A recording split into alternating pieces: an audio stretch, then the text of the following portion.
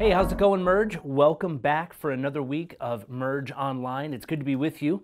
Uh, my name's Todd. I'm the pastor of student ministries here at the Bath campus, and, and thanks for tuning in tonight.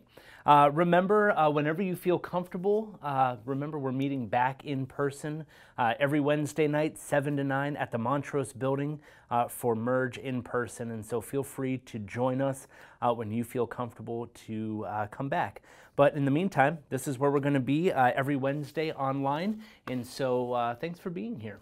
Hey, before we jump into our, our devotional for this evening, I uh, just want to let you know uh, that I'm going to be out for the next four weeks.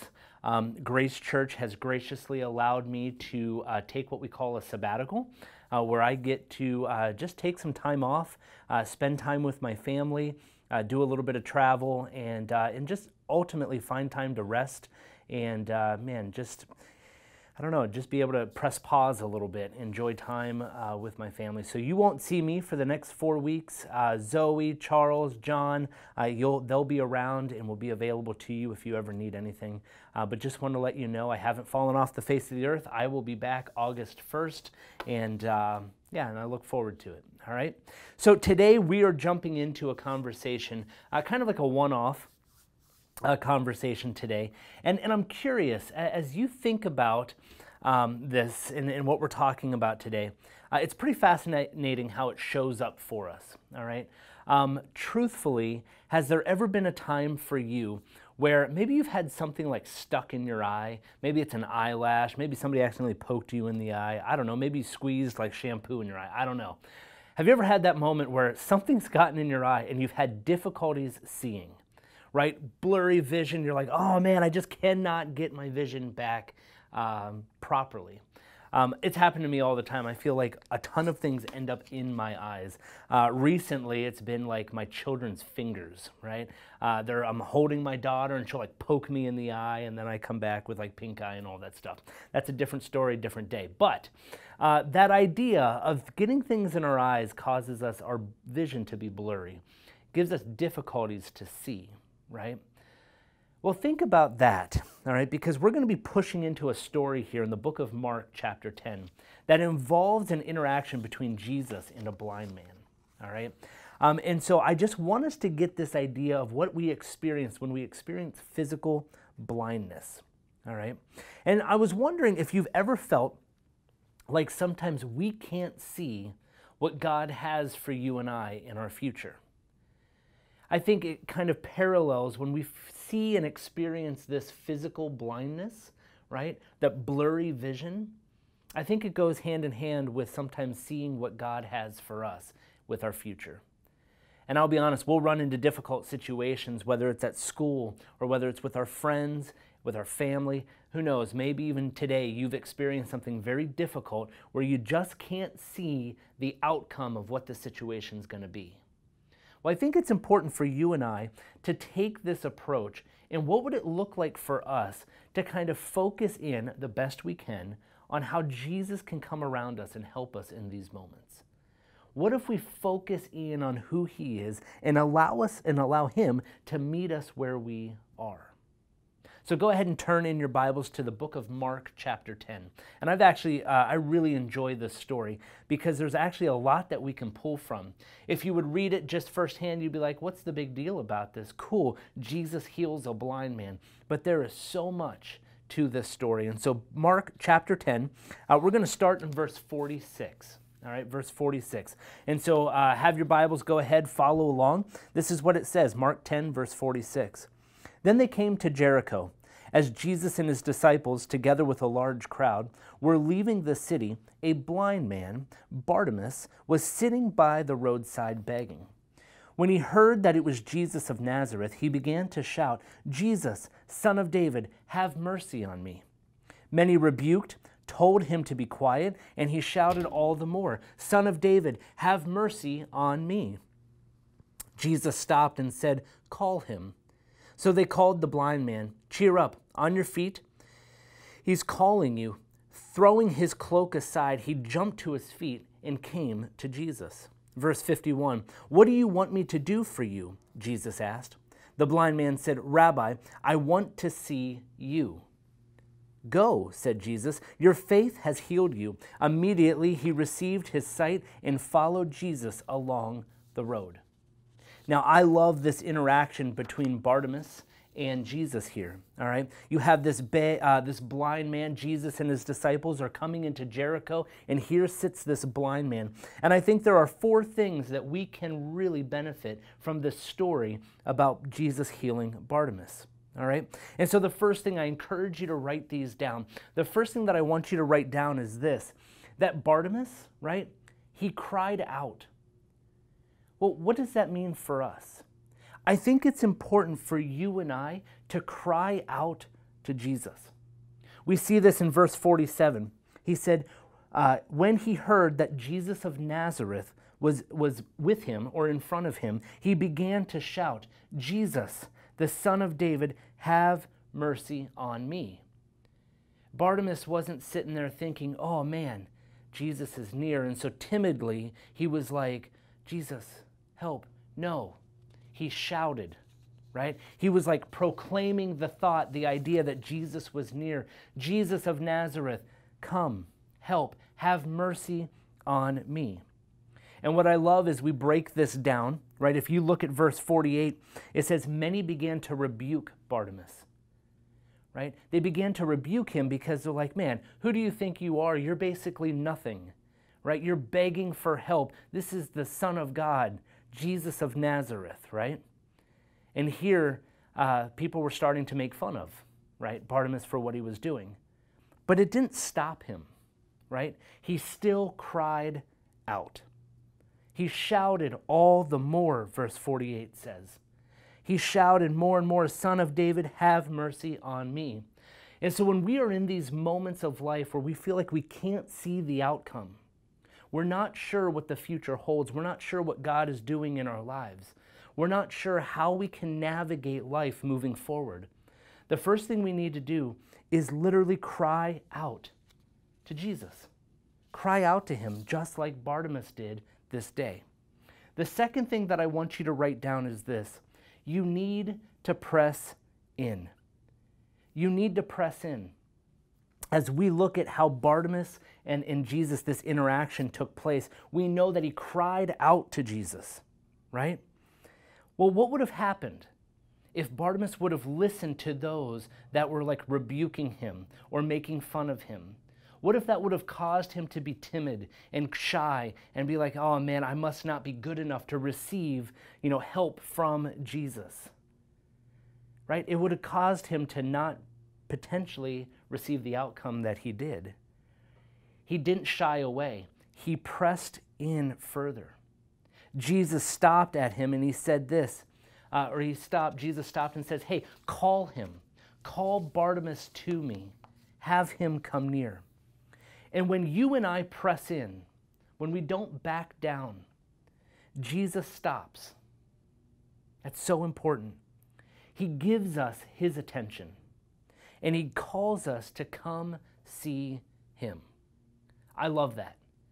When we cry out to Jesus, when we don't let other people or the distractions get in the way, and we press in, Jesus stops. He literally stops and he gives us his attention and he calls us to come to him. I think that's so important, and that's exactly what led Bartimaeus to Jesus that day. The third thing and this one's fun, all right? The third thing that we need to learn is that we need to toss our cloak. We need to toss our cloak. Take a look again at verse 50. Here's what it said Throwing his cloak aside, he jumped to his feet and came to Jesus. Bartimaeus, right? He threw his cloak aside. Now, you might read this and you're like, oh, what's the big deal? Right? Why would we even add this into the book of Mark here? Why is that an important sentence? Well, remember who Bartimaeus was. He was a blind man begging for help. He was literally at the entrance of the city of Jericho as people were journeying in. He's sitting there like, man, help me. I need help. And this cloak would have acted as the only material piece that he owned. This would have been the thing that he would have laid out in the ground as people walked by and would have threw food scraps or, or maybe loose change or something to help the, you know, the blind man here. And he would use that to kind of gather all of the things that people were helping him with. The cloak would have been what was keeping him from the sun or keeping him warm at the cool night. This cloak was basically all that he had.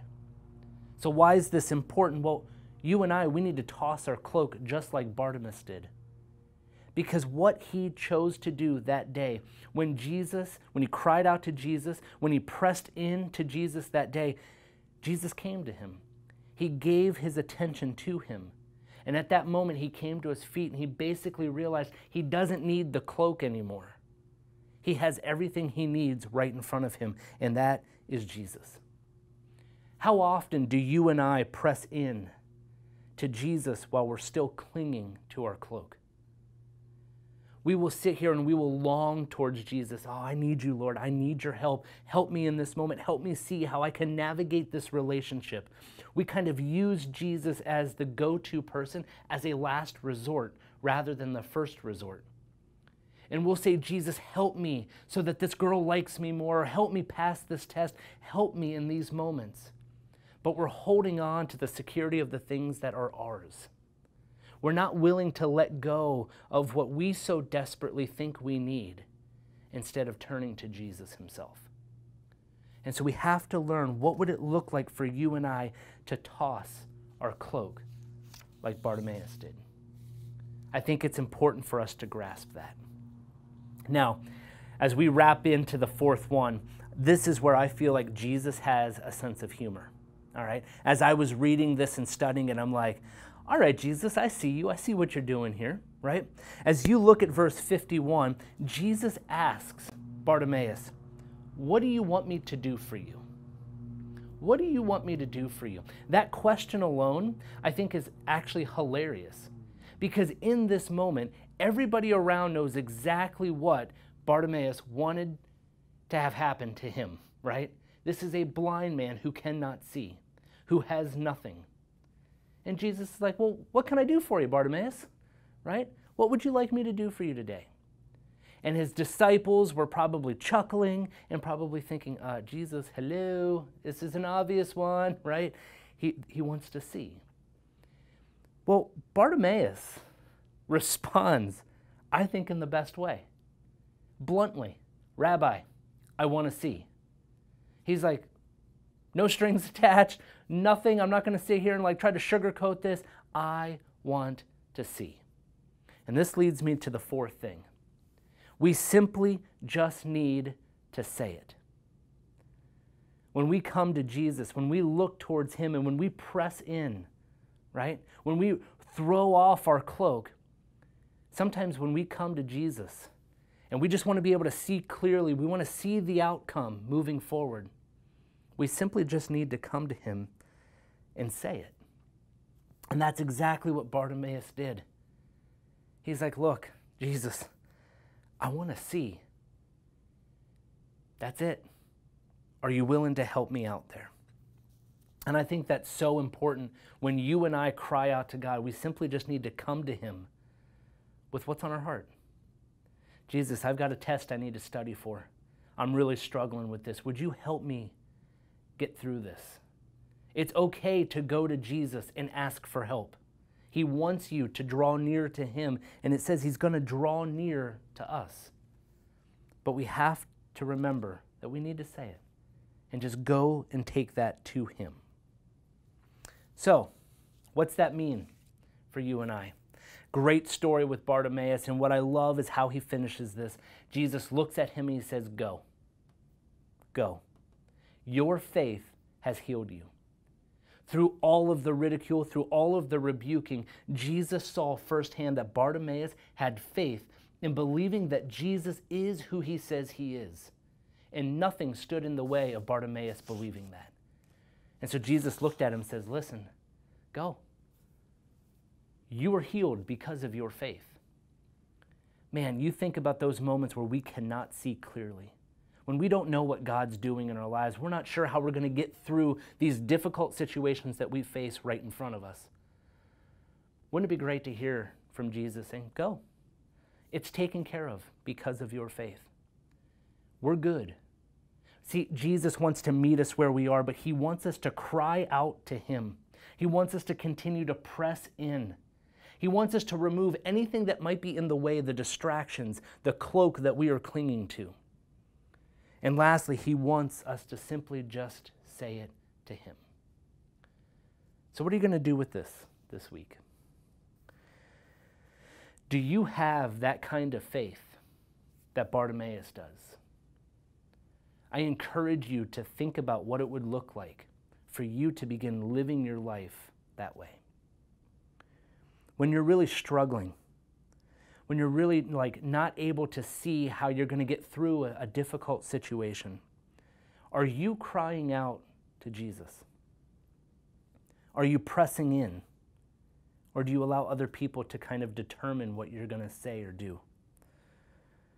And do you have the faith to toss the cloak and simply say, Jesus, I need you. I need you in this moment. I encourage you to ponder these questions this week and know that if there is anything that somebody on my team can do to help you process what this would look like, please don't hesitate to reach out. You can direct message us. You can uh, text us or call us at the number we'll put up here on the screen. Man, would you just reach out to us and think about what it would look like for you to have a faith that was demonstrated by Bartimaeus? I love you guys. Grateful for uh, the opportunity to be able to stay connected with you. Um, and hey, it's going to be a couple weeks, but we'll be back together here uh, in the beginning of August. Until then, you're going to see Zoe, you're going to see Charles, uh, and when you're ready to come back out in person, don't hesitate. You'll see us at the Montrose building. All right? Have a good one, guys. Take care.